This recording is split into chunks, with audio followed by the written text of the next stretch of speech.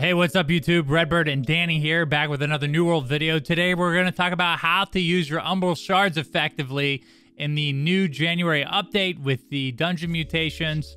Uh, Danneh, the first way, or the first thing we're going to talk about today is how to earn them effect effectively. And, and there are three ways to earn them. We do have a guide over there at New World Fans uh, to teach you each or way and then how what amount you will be earning with each activity. Uh, obviously, uh, one of the ways you can earn them now is storing up your um, your gypsum casts.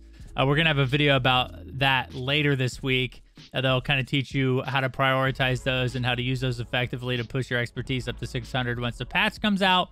Of course, the main way uh, that you can earn them, which is the uh, dungeon mutations, getting a bronze, silver, or gold at each of the different levels of the mutation will reward you with even more uh, umbral shards. And then finally, uh, once you craft a 600 gear score item, or once you have your expertise up to 600 in that slot, you will then start earning gypsum or umbral shards, excuse me, for every legendary you craft after that point. So that's, I, I think, probably the least efficient way to earn them, uh, Danneh, uh, is that way. But uh, yeah, so there's three different ways you can earn these Umbral Shards, uh, Danneh. So why don't you tell us a little bit more about the effects of these shards on your gear and kind of why we want to prioritize how you use them? Yeah, absolutely. So um, I'm sure, same as you guys out there, we've been doing some testing, trying to figure out um, what is the best way to do things. So what we found is, as you upgrade your gear, you're going to have uh, an increase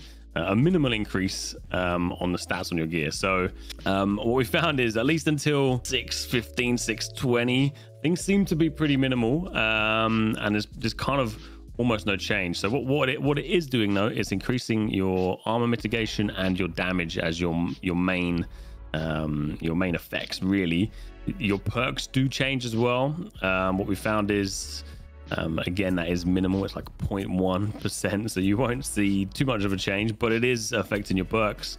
And by the time you get to 625, you should have uh, an extra attribute point on on each of your your weapons and your armor as well. Yeah. One. Yeah, yeah, one. So yeah, so they're really uh, again, we're kind of pinching pennies here uh, when you when you upgrade these, the order you upgrade these, and and how uh, and like Danneh said, uh, the, there's minimal increase uh, basically throughout the entire process. What we did notice though is that at every five upgrades, which would be like your 600 to 605, 605 to 6010, or 610, uh, 610 to 615, you do get a a relatively minimal but uh, a noticeable uh, increase to your mitigation and damage. Uh, and, uh, as we kind of go through uh, what items to upgrade first here, you'll kind of start to understand why. Uh, weapons obviously uh, seem to be the most effective thing to upgrade just because it is increasing your base damage. Uh, that does affect all your abilities and everything like that. When you see, you know, most of those have a, you know, X percentage of weapon damage or whatever. So it, it is important, I think, to prioritize your weapons first. And then once you get your weapons uh, to a certain level, then you will want to get your armor. And then last, uh, and I think certainly also least, is jewelry. Jewelry is basically minimally affected uh, by the increases of gypsum.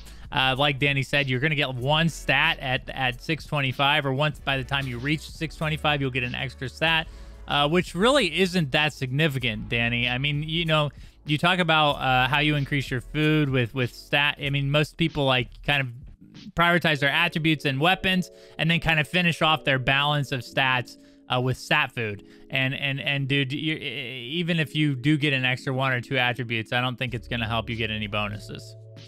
Very true. Yeah, very true. I guess the, the one thing that we haven't really discussed, from a curveball anyway, um, is kind of scaling and how potentially maybe you know we've been doing our tests outside of the dungeons, you know, potentially it will feel more effective once we actually get inside the mutations, and maybe it will it will feel a lot more effective than what we you know we're getting in the open world with these kind of effects and bonuses. But um, I haven't haven't um, got too much knowledge on that yet, but.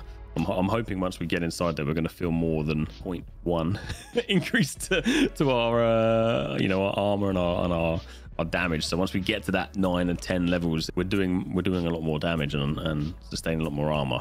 Um, I got well, I got up to about level four, and it was getting quite tough with the weapons and gear that we got on the PTR. So I'm looking forward to doing it on the live and seeing how that all, all affects and everything changes with your your your trophies and your your weapon coatings and all this stuff. So I'm quite excited to be honest. Right. And, yeah, and you, and you, make a good point because obviously the PvP scaling was into effect when me and you were testing this stuff, which we were testing on each other. And yeah. and uh, you know also uh, these are base these are base increases are the ones we're talking about. So obviously as you you know have a full set of armor equipped or you have a you know you have all your weapon perks and your your uh, you know attributes put in and all your um, mastery points put in uh, these are going to accumulate pretty quickly. But I think it holds true uh, that the first things that you do want to upgrade is your weapon. Now, uh, we suggest because of how the cost uh, to upgrade these things uh, increases at scale, and, and it scales up pretty significantly, uh, Danneh, because you know you talk about needing one umbral shard to get from 600 to 601 but then you talk about the jump just from 619 to 620 it's 450 umbral shards and your last level is 2500 umbral shards. So what we had kind of figured uh, or from what we had tested it does make sense to go ahead and get your weapons up uh, from 600 to 605 and that would be both your primary and your secondary weapons first. Then Danneh you want to prioritize your chest piece next, right? So yeah, absolutely. I was gonna say the chest, the chest piece is is uh, you know tends to be your your biggest stat across the board, whether that's you know your your heavy, medium, or light. So definitely, yeah, start off with your chest. Start with your chest. You move to your pants, of course, because that provides the next amount uh, or the next significant increase here, especially when you're talking about heavy, medium, which is what you're gonna probably use in these. Uh, these uh, expedition mutations because you're going to need quite a bit of mu- uh, mitigation and health uh, to kind of stay up uh, during the you know the trash phases of these dungeons.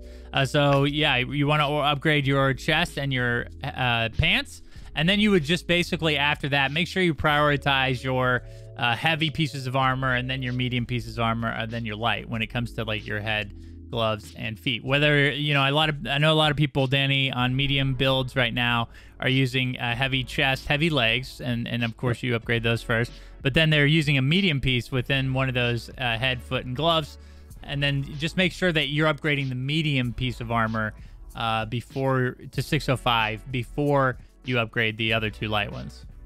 Yep.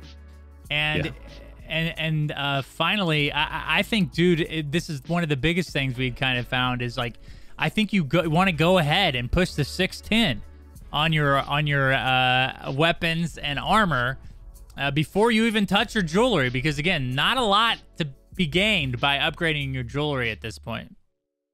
Yeah, I don't think we found well, I personally haven't found that limit where you hit that extra stat point. I'm going to assume that it's probably at the 625 right. uh, gear score. So yeah, jewelry, what you're going to get an extra point one on your on your perk on your jewelry. So um, for the majority of it, so yeah, focus on your weapons, focus on your armor, get those done as a priority, and then worry about jewelry. Uh, jewelry yeah. is the last yeah, last yeah, priority. Way basically. last, yeah, yeah. So So, uh, guys, that's about it. Uh, you know, and in summary, I guess, you know, make sure that we're going by fives here. So 605, 610, 615, 620. Those are where we noticed the you know the actual increase to mitigation and damage to be the most significant. Uh, so you want to jump, do the jumps of five there, and then prioritize again. First, your primary weapon, your secondary weapon, chest piece, legs then, whatever of your three pieces that are left, which is your head, gloves, and feet, just make sure if you have medium armor in that slot, uh, just go ahead and upgrade that before you upgrade the other light ones. If you're wearing all heavy, it still holds true. It doesn't matter what order you do it in, though. Uh, it'll be chest, uh, legs, and then you know head, foot, and gloves.